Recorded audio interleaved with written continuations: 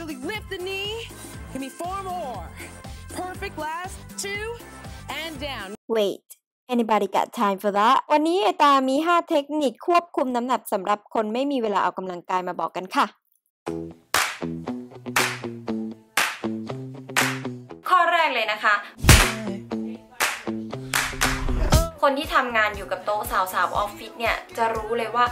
เอ่อขยับตัวน้อยมาก ออกกำลังกายน้อยมาก ในเมื่อเรารู้ตัวแล้วเนี่ยว่าเราเผาผ่านน้อยอะ่ะเราก็ต้องรู้ว่าเราไม่ควรทานเยอะจะถามว่าเราจะรู้ได้ยังไงว่า เราควรจะทานวันนึงเท่าไหร่ควรจะทานวันนึงกี่กิโลแคลอรี่เนี่ยมันมีวิธีคำนวณค่ะไอตาแนะนำเป็นเว็บไซต์นี้ลองคลิกเข้าไปดูพอเข้าไปแล้วนะคะ แล้วก็กดตรงคำนวณการเผาผลาญค่ะ แล้วเขาก็จะมีให้ใส่ข้อมูลรายละเอียดของเรา แล้วก็กดเข้าไปเลย ใส่ส่วนสูงอ่ายยกตัวอย่างไอตาสูง 161 น้ำหนัก 46 อายุอายุ แล้วเขาก็จะมีให้เลือกว่ากิจกรรมในแต่ละวันของเราเนี่ย ออกกำลังกายหรือขยับตัวน้อยหรือมากแค่ไหน แล้วเขาจะคำนวณคร่าวๆออกมาเป็นปริมาณกิโลแคลอรี่นะคะ ซึ่งตัวนี้เราอาจจะไม่ต้องยึดแบบเป๊ะเป๊ะเป๊ะมาก แต่ว่าเป็นตัวเลขคร่าวๆที่เราควรจะทราบไว้แล้วกันเนาะ ในเมื่อเรารู้แล้วว่าเรา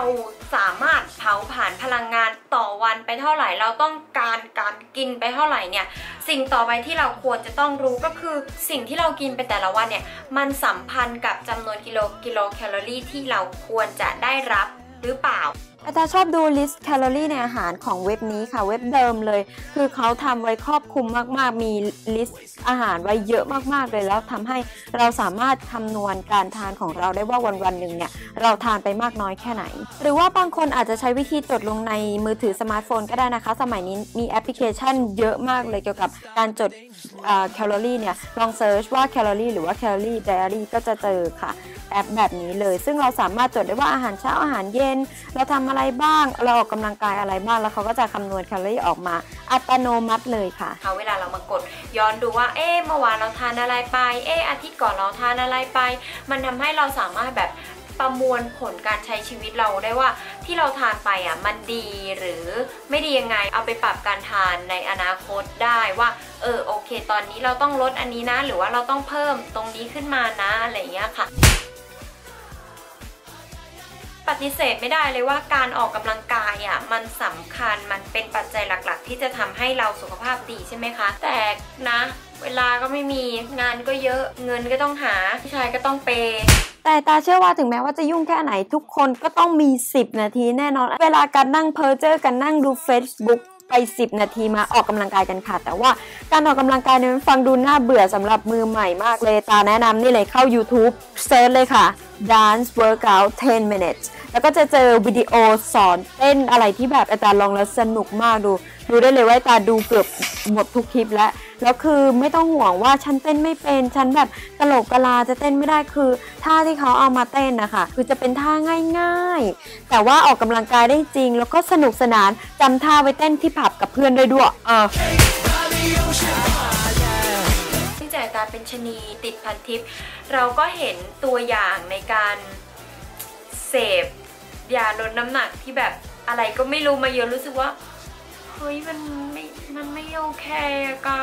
เพราะฉะนั้นเวลาเลือกจะทานอาหารเสริมตัวช่วยอะไรเนี่ยทานได้ไม่มีใครว่า แต่เลือกให้มันปลอดภัยส่วนตัวไอตาทานเป็นของยันฮีอาจจะดูเก่าๆนิดนึงเพราะทานจะหมดแล้วอืมตัวนี้เป็น L-Carnitine ของยันฮีซึ่งไอตารู้สึกว่าอาหารเสริม L-Carnitine อะ มันมีความปลอดภัย มันไม่มี มันไม่มีสารอะไรที่จะไปกระตุ้นหรือไปกดประสาทแล้วก็ไปควบคุมหนัก แล้วก็ไปส่งผลกระทบต่อสุขภาพเรา ตัว L-Carnitine เนี่ยเขาจะไปเพิ่มกระบวนการในการดึงไขมันไปทำให้ร่างกายของเราอะค่ะ เปลี่ยนกรดไขมันไปเป็นพลังงานนั่นเอง คือมันเป็นอีกตัวช่วยหนึ่งหลังจากที่เราดูแลตัวเองมาหนึ่ง step แล้ว มาทานตัวนี้มันก็จะ ช่วยบวกเข้าไปอีกจะถามว่านั่งนั่งนอนนอนอยู่บ้านไม่ทำอะไรเลยกินโน่นกินนี่ออกกำลังกายก็ไม่ออก จะกินแต่กินแต่ L-Carnitine แล้วบอกว่าฉันจะสุขภาพดี ฉันจะสวย ฉันจะผอมไม่ใช่นะคะ เดี๋ยวอาจารย์จะเปิดดูว่าข้างในเป็นยังไง จากในกระปุกที่จะหมดแล้ว เขาจะเป็นเม็ดสีขาวแบบนี้ค่ะ หน้าตาธรรมดาสามัญเลย ทานแค่วันละเม็ดเองค่ะหลังอาหารเช้า 30 เม็ดก็ทานได้ 1 เดือน ถ้าอยากมีอาหารเสริมดีๆ ที่มาช่วยในเรื่องพวกนี้ก็ต้องเลือกดูอะไรที่มันปลอดภัย เลือกดูอะไรที่มันรู้สึกว่าฉันไว้ใจได้ อันนี้มันเป็นผลิตภัณฑ์ในเครือโรงพยาบาลยันฮี มีขายทั่วไปมีช็อปของเขามีขายที่เซเว่นทานแล้วไม่มีผลข้างเคียง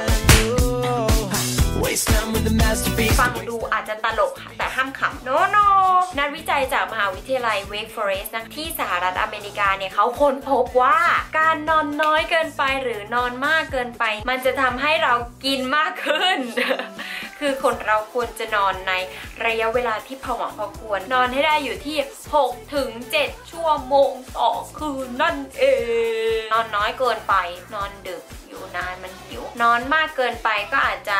ทำให้หิวตอนนอนตื่นมายิ่งหิวยิ่งกินเยอะอะปะเออนอนให้มันแต่พอดิบพอดีจะทำอะไรก็ทำให้มันพอดิบพอดีเนาะไอตาอยากให้ทุกคนดูแลตัวเองมีสุขภาพที่ดีค่ะ ขอบคุณมากที่รับชมวิดีโอของไอตา อย่าลืมกด subscribe channel ของไอตานะคะ ไปแล้วค่ะ บ๊ายบาย